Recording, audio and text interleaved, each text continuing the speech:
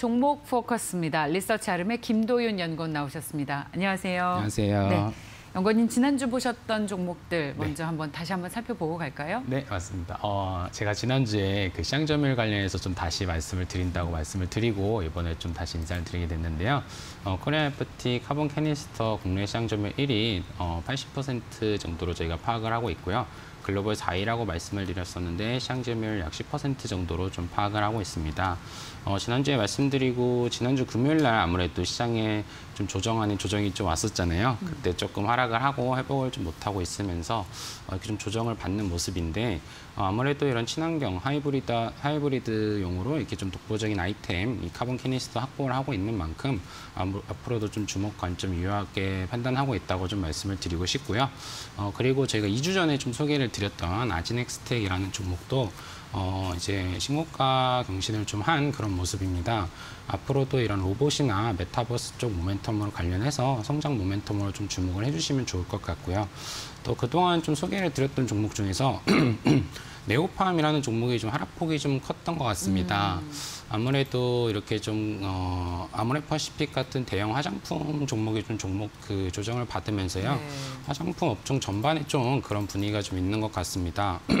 하지만 아직도 이런 화장품 업체들 중에서 저평가되어 있다는 관점 유지하고 있다는 말씀 좀 드리고 싶고요. 어, 포스코 강판이 어제 좀 실적 발표를 했습니다. 저희가 최대 300억 원까지도 좀 가능할 것으로 판단을 하고 있다고 말씀을 드렸었는데요. 어, 그걸 좀 훨씬 뛰어넘은 434억 원의 분기 영업이익 실적을 발표를 했습니다. 다만 좀 실적 발표를 하고 이좀 기대와는 다르게 조, 조정을 좀 받았던 그런 모습인데요. 아무래도 삼성전자도 이런 실적을 발표하고 주가가 좀 조정기에 들어가고 이런 실적에 대한 좀 의문점들도 좀 들 수 있는 그런 좀 관점이실 수도 있겠지만 어, 확실히 주가에 좀 영향을 미치는 가장 큰 변수는 실적이다라는 관점 좀 유지를 하고 있다는 말씀 좀 드리고 싶습니다. 어, 앞으로도 좀 말씀드 렸던 종목 중에 상승했던 종목 말고도 하락 종목도 좀 코멘트 드릴 수 있도록 노력하겠습니다. 네. 네, 네. 자신 있게 말씀해 주셔도 돼요. 네, 알겠습니다. 저희가 단기 시황을 보는 그런 종목들이 아니라 네, 맞습니다. 탐방을 다녀오신 기업을 어, 탐방을 직접 다녀온 애널리스트 입으로 듣는다는 취지가 중요한 거니까 아, 네. 기업을 네, in-depth하게 분석하고 있습니다. 네. 오늘은 ISC라는 기업입니다. 네. 어떤 회사예요? 네, 어, 우선 동사 같은 경우에는 이 글로벌 테스트 소켓 시장 점유율 1위 업체이고요. 아무래도 이런 반도체와 관련돼서 이런 업황 상황이 좀 지속될 것으로 전망이 되면서 수혜가 좀 기대되고 있는 그런 기업이라고 할 수가 있겠습니다. 어, 주요 제품은 이런 검사 소모품인 테스트 소켓을 좀 생산하는 그런 업체이고요. 어, 2000년도 초반에 이런 실리콘 rubber 소켓을 좀 세계 최초로 양산에 성공을 하면서요. 어, 고객사로는 애플, TSMC, 삼성전자, 뭐 SK 하이닉스, 마이크론 등 어, 글로벌 반도체 업체들을 모두 좀 고객사로 확보를 하고 있는 그런 기업입니다. 어, 고객사가 이런 후공정 업체들까지 상당히 좀 다각화되어 있기 때문에 이런 글로벌 Big Seven 테스트 업체에 대한 매출 의존도가 약 10%대로 좀 상당히 낮은 편이어서 고객사 다각화가 좀 많이 되어 있는 그런 기업이라고 말씀을 드릴 수가 있겠고요. 특히 14년도에 글로벌 점유율 2위 업체이던 일본의 JMT를 인수하면서 현재 시장 점유율 한 12% 정도로 글로벌 1위 기업으로 좀 시장에서 평가를 받고 있는 그런 기업입니다. 음, 그렇군요. 반도체 검사 소모품을 생산하는 업체, 그러니까 네, IT 맞습니다. 부품주, 뭐 반도체 부품주로 포함이 되는군요. 네, 맞습니다. 근데 반도체를 검사하는 부품인 네.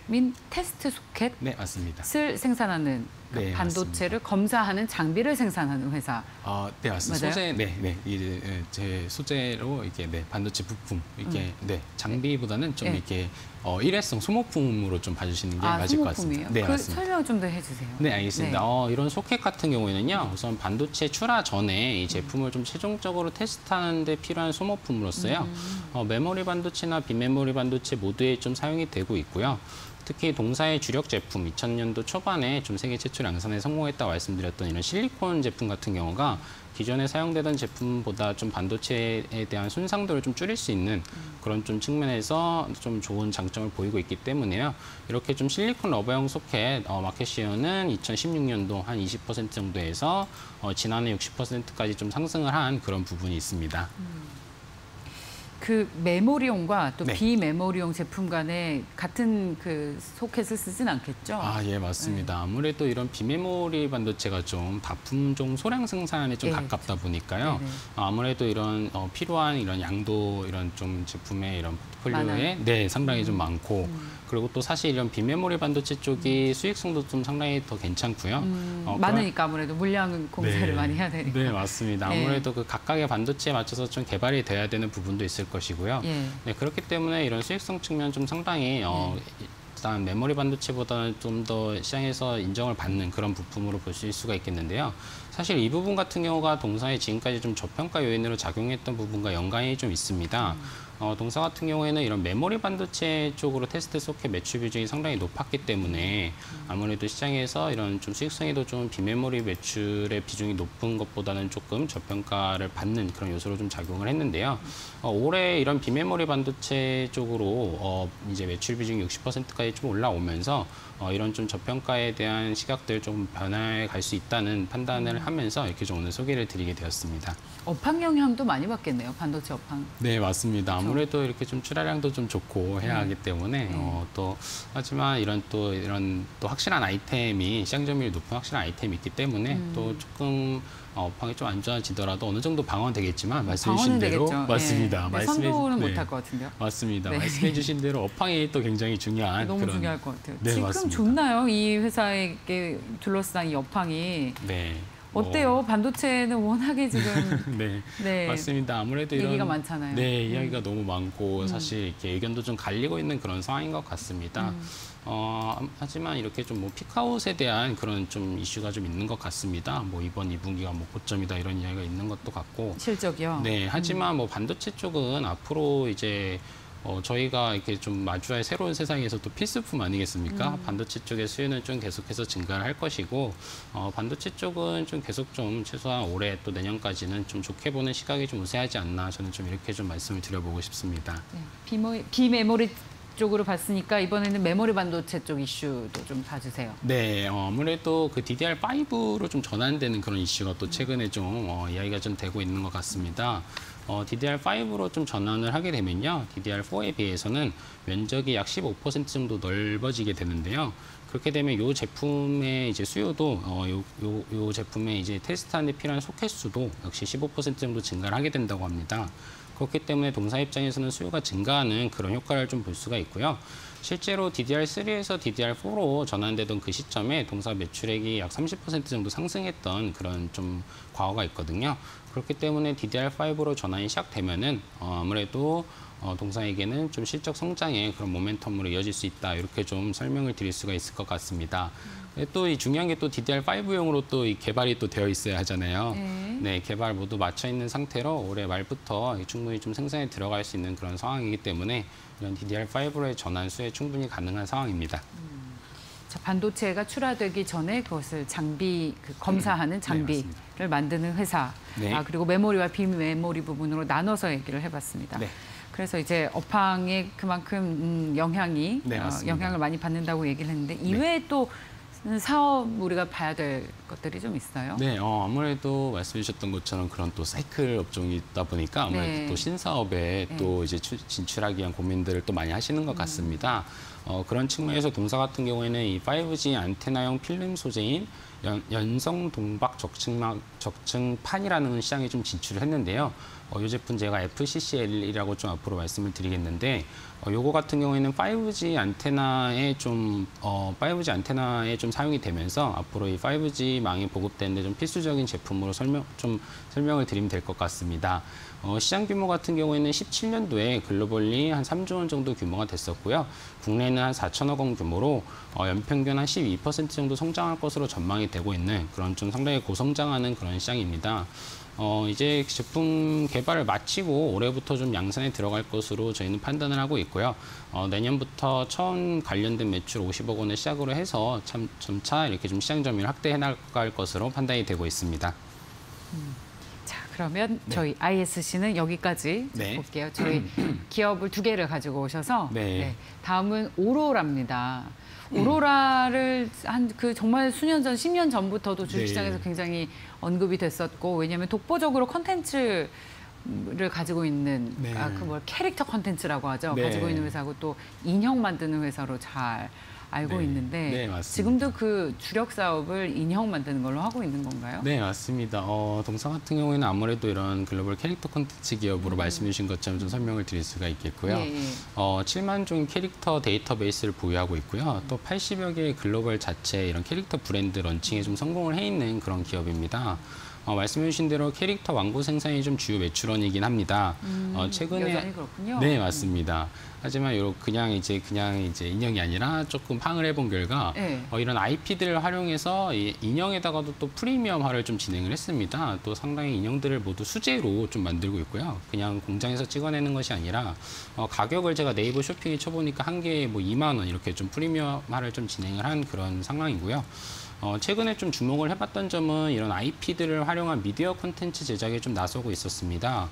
어, 일단 그 부분에 대해서도 좀 설명을 드리면은 네. 어, 이제 동사의 좀 대표 IP는 이 유호와 친구들 이런 좀이 IP가 되겠는데요. 뭐, 뭐, 유후와 친구들이라고 합니다. 아 그런 네. 이제 캐릭터가 있어요? 네, 이 브랜드가 좀 유후, 네. 유후 이건가? 네, 맞습니다. 맞습니다. 그거 맞습니다. 네. 네, 네. 그 유후 그 이제 브랜드가 되어서 네. 이제 이런 좀 넷플릭스나 이런 글로벌 OTT 업체들이 좀 나타나게 됐잖아요. 음. 어, 그런 업체들에서 좀 상당히 수요가 있을 수밖에 없는 그런 IP들이거든요. 그러면서 이렇게 넷플릭스에서는 이제 아시아 최초 유아동 오리지널 시리즈로는 아시아 최초로 이렇게 좀 제작이 돼서 어, 세 개의 시즌으로 지금 190여 개 국가의 약 20개 언어로 좀 번역이 돼서 방송이 되고 있는 그런 사업을 또 진행을 하고 있습니다. 어, 이런 부분들 이제 넷플릭스의 독점 방영 기간 끝나게 되면서 시즌 2 같은 경우에는 올해 올해 4월부터 KBS에서 좀 방송을 하고 있고요. 하반기에는 JTBC에서 또 이제 어, 계약 기간이 종료되는 시즌별로 순차적으로 좀 이렇게 방영을 하게 될 그런 계획입니다. 네, 그렇기 때문에 최근에 이런 좀 최근 IP 활용한 미디어 콘텐츠 부분에 좀 집중을 하게 됐다는 말씀을 좀 드리고 싶고요. 네, 그리고 이런 이 왕구 같은 거의 제작 사업도 어, 국내 같은 경우에는 이런 뭐 카카오 프렌즈나 신비 아파트, 뭐 팽수 이런 유명 IP들에 대한 이 왕구 OEM 사업을 좀 진행을 하고 있는데요. OEM 사업이라는 네, 맞습니다. 하지만 이제 또 해외 쪽을 보시게 되면요. 어, 해외 쪽 매출에서는 동사의 자체 브랜드가 차지하는 매출 비중이 약 85%에 좀 달할 정도로 이렇게 좀 캐릭터 콘텐츠에 대한 영향을 좀 충분히 갖고 있는 그런 기업이다. 이렇게 좀 말씀을 드릴 수가 있겠습니다. 이 회사가 이 자체 캐릭터를 많이 가지고 있는 게 경쟁력 인 건가요? 예, 맞습니다. 그런 부분도 충분히 경쟁력이고 네. 사실 이게 세계 어디를 찾아봐도 좀 찾아보기 힘든 디자인 역량이라는 생각을 좀 하게 되었습니다. 어, 80여 개의 이런 브랜드 중에서 단일 브랜드가 차지하는 매출 비중 상위로 봤을 때는 5%를 넘는 브랜드는 또 없거든요. 그만큼 이 현재 동사 같은 경우에는 전 세계 약 80여 개국에서 좀 매출을 올리고 있는 그런 기업인데요. 어, 이렇게 좀 각국의 이 이제 또 수요자층들의 이런 니즈가 또 모두 다르잖아요. 어떤 좀 어, 선호하는 디자인이나 뭐 어떤 나라는 조금 어두운 색, 어떤 나라는 좀 밝은 색 이런 각 국가에 맞춰서 디자인을 해내가 해나갈 수 있는 그런 역량이 있다는 것을 좀 증명을 하고 있기 때문에 어, 그런 디자인 역량이 좀 동사의 좀 중요한 경쟁력이다 이렇게 좀 말씀을 드릴 수 있겠습니다. 그리고 그 어, 자체 캐릭터도 있지만 네, 다른 회사의 캐릭터를 가지고 와서 OEM 사업을 하는 네 맞습니다. 뭐 그런 것도 있잖아요. 네, 맞습니다. 예. 네. 그 중에서 제일 좀 유명한 거 네. 뭐가 있어요? 우리가 들으면 알만한 게. 아, 네. 이게 사실 저희는 조금 모를 수 있지만 사실 영유아들 사이에서는 이제 거의 BTS급인 아, 신비. 아파트가 아, 있습니다. 네, 맞습니다. 아, BTS급. 네, BTS급입니다. 신비 아파트는 신비가 사는 아파트입니까? 약간 그런 것 같습니다. 네, 아, 이름이 그래요? 신비로 돼서 오, 네. 최성환 대표의 따님 이름이 어, 신비. 네, 맞습니다. 너무나. 사적인 이야기입니다. 네. 예, 그런 부분도 네, 네. 있었고요. 예. 예, 이 신비 아파트 같은 경우에는 음. 사실 이제 지난해에 이 CJNM의 이런 애니메이션 방영 채널인 투니버스에 음. 개국 이래 역대 최고 시청률을 좀 기록을 했거든요. 네. 그렇게 되면서 사실 이 IP 확장, 뭐 애니메이션을 넘어서서 게임으로도 진출을 했고요. 또 이런 웹드라마 쪽으로도 진출을 했고, 좀 IP 확장이 일어나고 있는 상당히 좀 영유아 측에서는 좀 상당히 핫한 그런 IP라고 볼 수가 있겠습니다. 어, 요 시즌 4가 올해 9월에 좀 방영될 것으로 좀 이제 예정이 되어 있고요. 네. 아무래도 이렇게 새로운 시즌이 나올 때마다 이런 관련된 제품의 매출이 좀 크게 증가를 하기 때문에 어, 특히 동사 같은 경우에는 과거에는 이런 신비 아파트의 IP에 직접 좀 투자를 해서 공동 투자 쪽으로 좀 들어가기도 했었고요. 그렇기 때문에 사실상 국내 유통되는 관련된 왕구들 90% 이상을 동사가 제작하고 있기 때문에 하반기에 실적 성장 모멘텀으로도 작용할 수 있는 그런 부분입니다. 그 이제 유명한 캐릭터를 가지고 와서 OEM 사업을 네. 하고 있고 또 자체 캐릭터도 있잖아요. 네, 맞습니다. 그 자체 IP 개발 역량이 있다라는 네. 것인데 비중이 한 어느 정도나 돼요? OEM과 우선 국- 자체 컨텐츠. 네, 국내에서는 이런 좀이 국내에 좀 인지도 있는 이런 어, IP들을 가져와서 왕구 네. 사업을 하는 비중이 좀 확실히 높고요. 음. 어, 해외에서는 동사 자체 브랜드 매출이 차지하는 게 85% 이렇게 좀 말씀을 드렸었는데요. 네, 네. 어, 국내에서 이렇게 좀 OEM 사업들 사실 유명한 이렇게 인지도 있는 IP 있는 회사 들이 왜 동사에 이렇게 제작 왕, 왕구 제작을 왜 이래 하느냐 이렇게 좀 생각을 해주실 수도 있으실 것 같은데요. 네. 어, 동사 같은 경우에는 이 캐릭터 왕구 브랜드 순위로는 국내와 영국과 러시아에서 1위 그리고 미국에서 2위를 기록하고 있는 그런 업체입니다. 음. 어, 사실 이런 카카오 프렌즈, 뭐 팽수, 신비 아파트 이 왕구는 좀 오로라 월드로 통일이 되고 있다 이렇게 좀 말씀을 드리고 싶은데요. 예. 사실 이런 IP 같은 경우에는 확장이 좀 생명입니다. 어, 애니메이션 시, 애니메이션에서 시작을 했더라도 뭐 게임이나 의료 이런 좀 더 많은 산업군에서 부가가치를 창출할 수 있어야 이 IP의 가치가 확인되고 또 그렇게 됐을 때 더 가치가 상승하게 되는 그런 부분인데요. 어, 그런 측면에서 이런 캐릭터 IP들 같은 경우에는 아무래도 직접적으로 영유아들에게 어, 사용되는 이런 왕구 사업은 좀 필수적이라고 할 수가 있겠습니다. 어, 동사 같은 경우에는 품질적인 측면이나 브랜드 경쟁력 측면에서 어, 이런 측면에서 충분히 좀 경쟁력을 확보하고 있기 때문에 이런 좀 유명한 캐릭터 IP들의 어, 왕구 사업의 좀 필수 파트너로 이미 자리 잡은 상황이다 이렇게 좀 말씀을 드릴 수가 있겠습니다. 자, 저희 이제 네. 아, 시간이 많지 않아서 네. 한 가지 정도를 더 볼 수 있을 것 같아요. 네. 보시기에 연구원께서 이건 꼭 알아야 된다라고 하는 포인트 짚어주세요. 네, 어, 아무래도 요 좀 새롭게 좀 형성된 요 구조를 좀 말씀을 드리고 싶습니다. 어, 기존에는 이런 애니메이션, 애니메이션 제작을 통한 마케팅이 굉장히 효율적이었지만 사실 회차당 이런 제작비가 1억에서 1.5억 정도가 들거든요. 그렇기 때문에 뭐 52부작을 제작을 하게 되면 뭐 60억, 70억을 이제 순이익단에서 빠지게 되는 그런 비용단에 이제 타게 됐었지만 어뭐 넷플릭스 이런 글로벌 OTT 업체들이 본격적으로 투자에 진행을 하면서 어 제작비에서 나아가서 일종의 수수료까지 좀 수치를 할 수 있는 그런 상황입니다. 그렇기 때문에 이렇게 IP를 개발을 해서 왕구를 제작하고 시장의 반응을 본 다음에 어 시장에서 통할 것 같은 컨텐츠 IP는 미디어 컨텐츠화를 시켜서 좀더 그 이제 영향력을 크게 만들고요. 그렇게 된 다음에 그로 인해서 또 상승한 IP를 통해서 추가적인 라이센싱에 또 들어갈 수 있는 이런 구조가 좀 생겼다는 판단입니다.